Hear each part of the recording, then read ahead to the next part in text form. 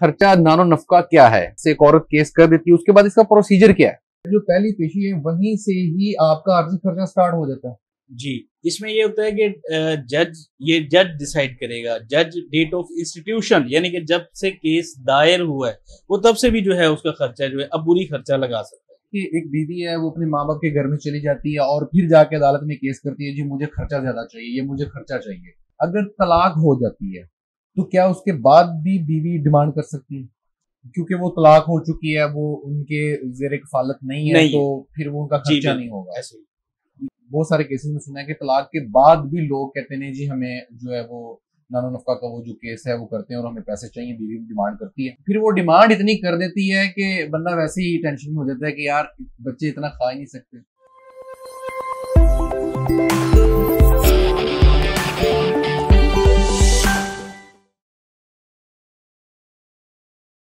असलम नाजरीन मैं हूँ आपका होस्ट मौजम नजील और आप देख रहे हैं मौजम नजील ऑफिशियल आज जो हमारा सेगमेंट है वो है एक शाम एक मेहमान।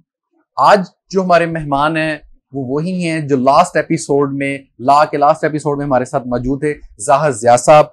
आज हमारा एपिसोड टू है उसी फैमिली कोड को लेके ही आज हम आगे चलेंगे। जी ज़ाहिर साहब क्या हाल है आपके? जी अलग है शुक्र।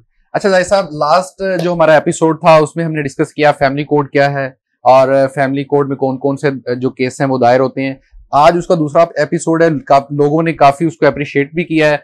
जो मेरा आज क्वेश्चन जो आपसे जो पहला है वो ये खर्चा नानो नफका क्या है? इसके बारे में हमारे नाजरीन को बताइएगा जरा। खर्चा नानो नफका फैमिली कोर्ट में दायर होता है और ये होता इस सूरत में है जब मर्द अपनी बीवी को खर्चा अदा नहीं करता। जी जी। उसके जो लवाजमात हैं वो पूरे नहीं करता। तो बीवी फैमिली कोर्ट से रुजू करती है कि वो मुझे वो क्योंकि शोहर पाबंद है अपनी बीवी का खर्चा उठाने के लिए। तो जब वो नहीं वो जब किसी भी सूरत उसको अदा नहीं करता तो फैमिली कोर्ट में बीवी को रुजू करना पड़ता है। ये खुला के बाद चलता है या घर में रहते हुए भी हो सकते हैं? ये दुरान आबादी चलता है यानी कि मियाँ बीवी जब होते हैं और उस वक्त शोहर उसका खर्चा नहीं उठाता है। मतलब अभी खुला का इससे कोई तल्लक नहीं, नहीं है ये घर में रहते हुए एक ही छत के नीचे रहते हुए भी ये केस हो सकता है। एक छत में एक घर के छत के नीचे रहते हुए भी हो सकता है और या अगर मियाँ बीवी आपस में नाराज़ हो जाते हैं और बीवी अपने वालदेन के घर चला चली जाती है जी, जी, और उसके बच्चे भी होते हैं साथ में तो देन ये जो है केस फैमिली कोर्ट में होता है। देन होता ठीक हो गया। अच्छा जी सर ये तो आपने हमें खर्चा नानफ के बारे में बता दिया। उसके बाद अगर एक बंदा जब केस एक औरत केस कर देती है उसके बाद इसका प्रोसीजर क्या है? सबसे पहले केस दायर होने के बाद अदालत नोटिस भिजवाती है मुद्दा लैम इसमें दो चीज़ें इसमें जो केस करने वाला है वो मुदैया है और जिसपे केस हो रहा है वो मुद्दा है। हम्म। जब मुद्दा है कि सबसे पहले उसको नोटिस भिजवाए जाते हैं। उसके बाद वो जब नोटिस वसूल हो जाते हैं तो वो मुद्दा लय कोर्ट में आता है अपनी डेट पे और पावर ऑफ़ अटार्नी जमा करवाता है और जवाब उसका जो भी हम दावा देते हैं उसका एक जवाब दावा होता है वो देता है। हम्म, हम्म। उसके बाद अदालत जो है वो डिसाइड करती है कि अगर बच्चे हैं फॉर एग्जांपल के दो बच्चे हैं जी जी। तो अदालत एक आर्जी तौर पे दो बच्चों का अबूरी खर्चा जो है वो डिसाइड कर देगी। पहली पहली पेशी पे पहली पेशी पे। अच्छा सर इसका मतलब है जो पहली पेशी है वहीं से ही आपका आर्थिक खर्चा स्टार्ट हो जाता है।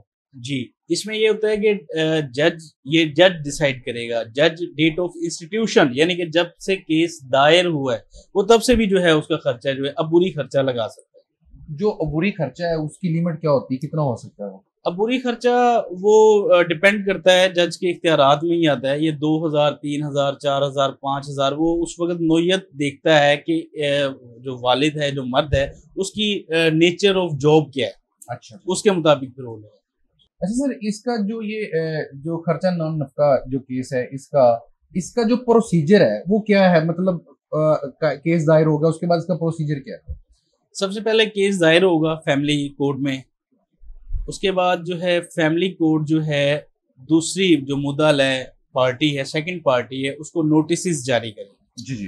ठीक है? उस नोटिस के बाद जब नोटिस उसके पास पहुँच जाएँगे तो देन क्या होगा कि दूसरी पार्टी अपना पावर ऑफ़ अटॉर्नी जमा करवाएगी। जमा करवाने के बाद जो दावा किया है जो हमने स्टांस लिया उसका जवाब दावा देगी। जवाब दावा के जवाब देने के साथ ही अब बुरी खर्चा लग सकता है। अदालत के इख्तियार में है कि वो उसके बाद जो है, एक पहली जो डेट है, वो मसालियत पे होगी। यानी कि जैसा कि हम पहले भी इससे पहले बात कर चुके हैं कि वो पहली डेट फैमिली केसेस में मसालियत होती है, कि कोशिश होती है जज साहब की कि वो इनमें सुलह हो जाए।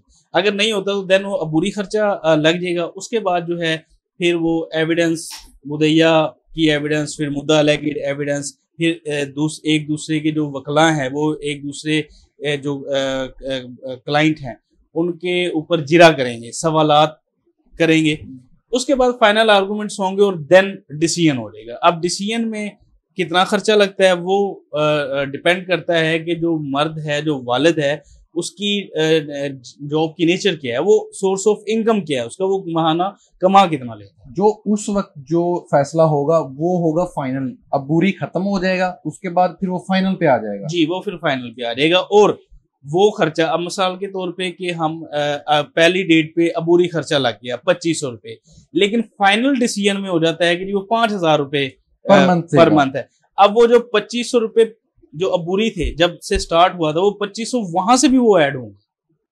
वो भी ऐड होंगे और ऐसे चलते रहेंगे और सालाना इसमें इजाफा भी होता है। मतलब कोई दस फ़ीसद सालाना बीस फ़ीसद सालाना वो इंक्रीमेंट वो डिपेंड जो है वो जज साहब के इख्तियार हैं कि वो कितना उसको सालाना। तो इसमें ये नहीं होता कि एक बीवी जो है वो अपनी डिमांड करती है कि नहीं जी मुझे इतना ही खर्चा चाहिए। तो इसमें मतलब बीवी का कोई अमल दखल नहीं जो फैसला आगा वो जज के इख्तियार में वो ही करेंगे जो उनको बेहतर लग रहा होगा। बिल्कुल वो जज साहब इसमें जो मतलब एविडेंस में जब साबित होगा कि कितना वो खर्चा दे सकता है एक मिसाल है कि एक बंदा है वो उसकी जॉब ही सारा अठारह हज़ार रुपये है। जी। अब उसके दो बच्चे हैं उसके वालदेन भी उसके जेरे कफालत हैं। तो अब हम्म। ये तो नहीं हो सकता कि वो बीस हज़ार रुपए फ़ी प्लस बच्चे को दे। वो कहाँ से देगा? तो nature of job source of income के तहत जो है ना वो साबित होगा कि ये कितना खर्चा दे मतलब ये है कि बीवी डिमांड ज़रूर कर सकती है कि मुझे इतना चाहिए हाँ। लेकिन वो फैसला अदालत ही करेगी। बिल्कुल वो डिमांड करेगी और वो बताएगी कि इसका सोर्स ऑफ़ इनकम क्या क्या है। हम्म। अगर वो साबित हो जाता है तो देन उसके मुताबिक उसका खर्चा लग सकता है। अच्छा सर ये तो हो गया। अगर तलाक हो जाती है तो क्या उसके बाद भी बीवी डिमांड कर सकती है? आ, नहीं तलाक के बाद जो इद्दत का टाइम होता है हम्म। इद्दत के टाइम पे मर्द वो उस पर लाजिम है कि वो अपनी जो बीवी है वो इद्दत का जो है उसको खर्चा दिया जाए। वो वैसे ही है वो भी डिसाइड करेगी अदालत के कितना खर्चा दिया जाएगा।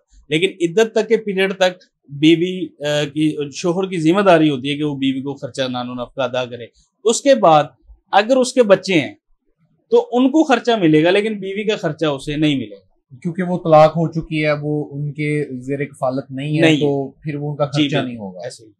बहुत सारे केसेस में सुना है कि तलाक के बाद भी लोग कहते हैं जी हमें जो है वो नानो नफका का वो जो केस है वो करते हैं और हमें पैसे चाहिए बीवी डिमांड करती है। नहीं वो बीवी अपने लिए डिमांड नहीं करती है। वो अगर उसके बच्चे हैं उसकी जेरे कफालत। अच्छा वो फिर वो डिमांड इतनी कर देती है कि बंदा वैसे ही टेंशन में हो जाता है कि यार बच्चे इतना खा ही नहीं सकते। असल में देखे ना शोहर या वालिद इसकी ज़िम्मेदारी है कि वो अपने बच्चों का पेट पाले। वो उसकी वालिद की ज़िम्मेदारी है कि जो बच्चे पैदा हुए जो आपस में वो उनका जो है उनका पेट पालना उसकी ज़िम्मेदारी है फ़र्ज़ है उसका। अच्छा सर, एक क्वेश्चन ये भी है कि एक बीवी है, वो अपने माँ बाप के घर में चली जाती है और फिर जाके अदालत में केस करती है, जी मुझे खर्चा ज़्यादा चाहिए, ये मुझे खर्चा चाहिए। इसका क्या जवाब होगा? इसमें कोई केस ऐसा है कि ये फजूल में वो केस कर रही है? देखें, अगर उसको सारी आसाइश अपने हस्बैंड के घर पे मिल रही है, लेकिन वो बिला वजह तंग करने के लिए अपने वालदेन के घर जाती है और वहाँ से केस दायर कर देती है तो इस सूरत में जो है जो शोहर है, वो पाबंद नहीं है। वो शोहर कहता है कि जी, आप मेरे घर आए मेरे हकूक जोजियत अदा करें और आपको मैं खर्चा पे करता हूँ। इस सूरत में जो है शोहर पाबंद नहीं होगा तो अदालत डिसाइड करेगी कि अगर कंफर्म हो जाता है साबित हो जाता है कि ये बिला वजह गई है। हाँ। जबकि शोहर तो उसको कह रहे हैं कि आप मेरे घर में आए हकूक जोजियत अदा करें और अपना खर्चा नानोफ्त अदा करें। मतलब एक दफ़ा वो अदालत में चली भी जाती है तो अदालत शोहर को बुलवाएगी? शोहर को तो लाजमी बुलवाएगी। मतलब कोई भी कोई भी केस में अगर कोई मुदई केस करता है तो जो जिस पे केस हुआ होता है उसको नोटिस लाजमी जाते हैं ताकि वो अपना मौकफ अदालत में बयान कर सके। एट दी एंड जो जज है जो फैमिली कोर्ट है फैसला उसी ने ही करना है। जी। डिमांड जितनी मर्ज़ी कर लें जो मर्ज़ी। कर लें जो मर्ज़ी लिखवा लें जी तो एंड में फैसला फैमिली कोर्ट ही और एविडेंस एविडेंस के बाद जो है वो फैसला।